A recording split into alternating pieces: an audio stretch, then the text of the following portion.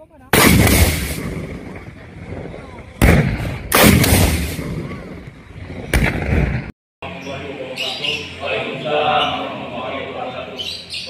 pagi, salam sehat selalu. Saya wilayah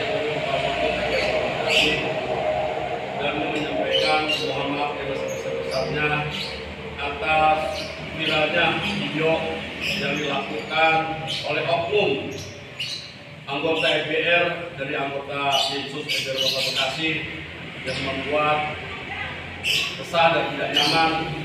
Untuk itu kami sebagai pengurus FBR Kota Bekasi dan ini menindak tegas pada oknum tersebut. Yang pertama akan mencabut KTA keanggotaannya dari FBR dan mengikuti semua atribut-atribut yang dia miliki.